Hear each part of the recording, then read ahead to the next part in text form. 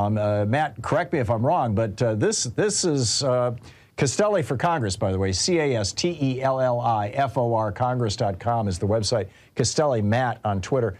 Uh, Matt, uh, tell us about taking on Elise Stefanik. I mean, a lot of people think this is a, a fool's errand, that, that you're uh, tilting at windmills here. Well, we actually have a tremendous opportunity to defeat Stefanik in this race because she's gone way out of step with the values of our community here in the 21st district. Thanks for the opportunity to, to join your program. Up here in northern New York, this is a district that is home to the largest number of veterans, folks who swore an oath to the Constitution. This is a district that is pretty middle of the road, likes to come together to solve problems, not create more of them. And when they first elected Elise Stefanik many years ago, they thought they were getting a moderate. Her pivot towards the far right, to, towards ultra MAGAism, is only a recent occurrence, and it's turned off a lot of voters here in the district. Uh, this is a district that elected Barack Obama twice. and elected Bill Owens, a former Democratic uh, congressman here in the district uh, before he retired and gave the seat up, and uh, Elise Stefanik was elected at that point. So there's a proud moderate tradition here in the district, and they look at Elise Stefanik's embrace of the far right, embrace of these extreme policies, and they're really turned off by it. So we're building a coalition of not just strong support from Democrats who are interested in uh, ref- sending her home and firing her in this election, but a lot of independents. It's a district that's home to 30% of registered voters are independents and unaffiliated. So you got to build a coalition here. And we've got a lot of Republicans who are supporting us in this campaign, not MAGA Republicans, but mega Republicans, the make Elise go away Republicans. And so this coalition that we're building is pretty strong. And we're this is turning into one of the most important races in the country because of what we're about to achieve. I think it's I think it's spectacular, Matt. It's why I wanted to have you on the program. I you know that you're that you're uh, you know this is David versus Goliath here. And, and, and, and, if you remember, if you remember, David won that race. Exactly, and I think you have a chance. Um, I wish the Democratic Party would support you a little more aggressively. What you know, it's it's generally, I mean, you know, conventional wisdom in politics is that it's not enough to run against, you know, or to run a campaign based on my my opponent's a crook.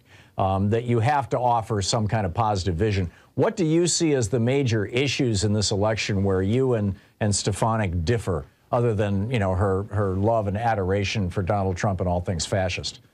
Well, so here in the district, and some of that experience of hers may fall into this uh, sort of narrative, which is true, is that Stefanik has sold us out. She's all about advancing her own career at the expense of not just our country. We saw that on January 6th, and we've seen it since then, but certainly our district. She's refused to make investments in the areas that we need. This is a district that is struggling. Uh, so many folks may be looking at uh, the country being potentially on the wrong path or considering that. Our district is on the wrong path, and it's been on the wrong path for the eight, last eight years that Congresswoman Stefanik has been in office. She's refused to make investments in our future. And so many of the, the challenges that we see working families struggling with, the rising costs of daily life, things like childcare, affordable housing, healthcare and prescription drugs. Yes, certainly food and groceries and gas prices, but many of these issues have long been issues and challenges for working families, and we need a representative who's actually going to focus on solving them. So that's top of the top of the list for us. Also, freedom listen, freedom's on the ballot this this November, and Stefanik is right now leading this assault against certainly a woman's right to choose to control her own body and make her own healthcare decisions. She's advocating and is the highest ranking Republican to advocate for a national ban on abortion. That's targeting blue states like New York, where we do have certain protections, but a national ban would would threaten those protections.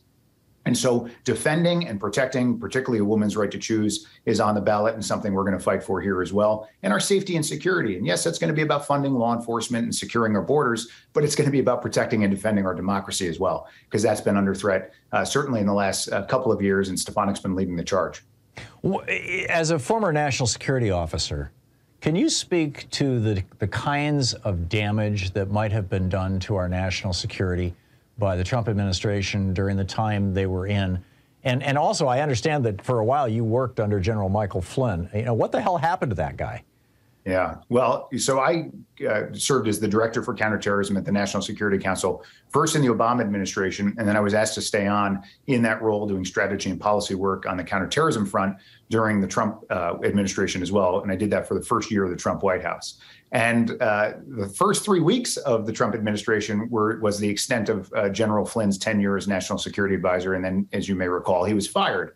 I believe he was fired uh, for lying to the, the, the vice president then, Mike Pence, as well as some uh, lies with respect to the FBI. Yeah, about being got, on the take from a foreign government.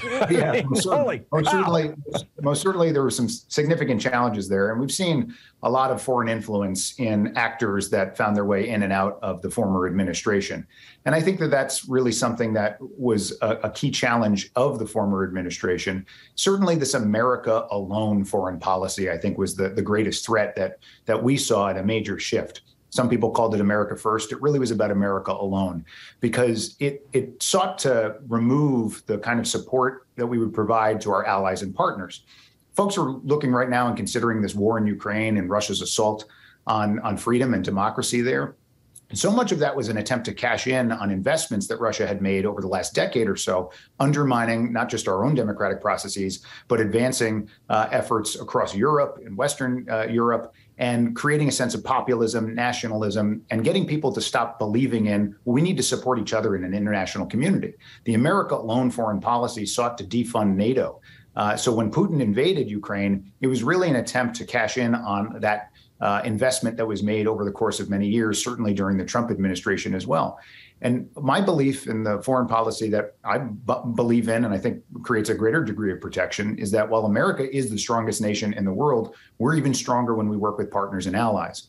This false notion of one side versus the other, where you've got some that want to turn America into the world police, that's not acceptable. But withdrawing completely from the world is also not acceptable. Both of those things leave America less secure. And I think that's the challenge that we have, uh, certainly stemming from the, the former Trump administration and their foreign policy approach. We're talking with Matt Castelli, a former CIA officer uh, who is now uh, in the Obama administration and briefly in the Trump administration, who is now running for Congress in New York's 21st District uh, to, for the U.S. House of Representatives against the number three Republican in America, or at, at least in Congress, uh, Elise Stefanik.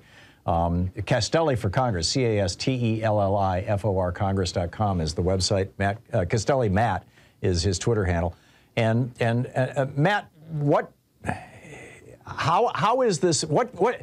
Well, I guess the the essential question I wanted to ask you is, what kind of support are you getting from the DNC? I, I had read that uh, the DNC basically figured, hey, you know, Stefanik, you can't beat her. Why bother? Uh, that they haven't been supporting you that much. I don't know if that's an old story or if that's the case right now. Um, you know, where where are you at with regard to, to institutional support, as it were?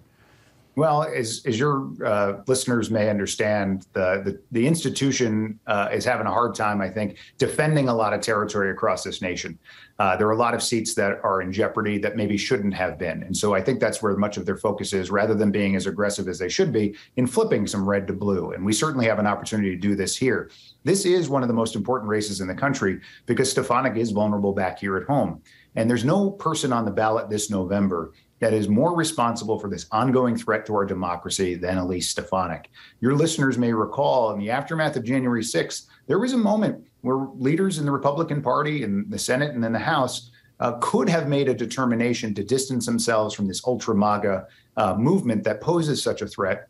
And Elise Stefanik was really the architect in saying, no, we're going to embrace it. She stabbed Liz Cheney in the back. She took on that role as the number three in House Republican leadership, their conference chair. The she messaging. replaced Liz Cheney. Exactly. She stabbed her in the back to replace her and took on the messaging role. So, all of the messaging we're now seeing in advancing these uh, draconian measures, these extreme policies around, uh, you know, attacking our freedoms. Certainly, even this pamphlet that they released last week. All of this is at the hands of Elise Stefanik. And here in our race, we have a tremendous opportunity to defeat her. And we're getting support. Maybe not. It's not coming from the institution, but it's coming from Democrats, not just in our district, but all across the country, because they understand the importance of this race and what November 9th represents when we defeat Stefanik. Uh, what kind of signal that's going to send, not just to the country, but even within the Republican Party. My mother's a lifelong Republican, and she looks at people like Elise Stefanik and says, That's not my Republican Party. And there are folks within the Republican Party right now who are, are suffering from a, a sense of political homelessness.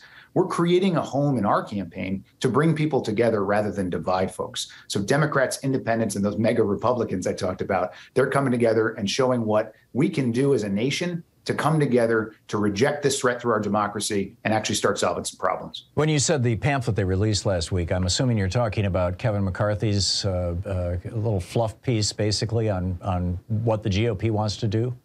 Yeah, their their commitment to America. Or yeah, you want, to, least, you want to speak to that? Any of the points in that that you'd like to, sure, to highlight? Sure. I mean, you know, Stefanik, I'd rather phrase it as a commitment to selling out. Uh, you know, they, they released four points on the economy. Much of what they highlighted was copying and pasting what Democrats are already doing in Washington. Uh, and also, uh, they want us to forget about the fact that they tried, they voted against every single common sense solution to reduce costs for working families and seniors, whether that's around childcare, affordable housing, prescription drugs. You know, on safety and security, they want us to forget that it was their lies that led to this uh, worst assault on law enforcement in our nation's history on January 6th that resulted in the deaths of five police officers and the injuries of over 140 on freedom. They want us to forget about this fact that they're right now attacking the freedoms of women, millions of them across the nation, and depriving them of the right to control their own bodies and make their own healthcare decisions. And on accountability, it seems like everyone else has to have accountability, but not the senior leaders of their of their party, to include those who are involved in directly, you know, criminal actions, or even with respect to Stefanik, she's not accountable even to voters. She won't even show up and actually have town halls or communicate directly with voters. The press never have access to them. So this pamphlet was really just a sham and doesn't contain any details or opportunities to actually address uh, the major needs that most Americans have, and in, in, in, certainly in our district, but I think across the nation. Yeah. So if you like what you hear, Matt Castelli, former CIA officer, is running for Congress, the 21st District of New York, upstate New York, against Republican Elise Stefanik, number three in leadership in the House of Representatives. CastelliForCongress.com is the website, C A S T E L L I for F O R Congress.com. Castelli Matt, M A T T, is his Twitter handle. Matt, thanks a lot for dropping by and good luck. Thanks, Thom. Great to be with you. Back at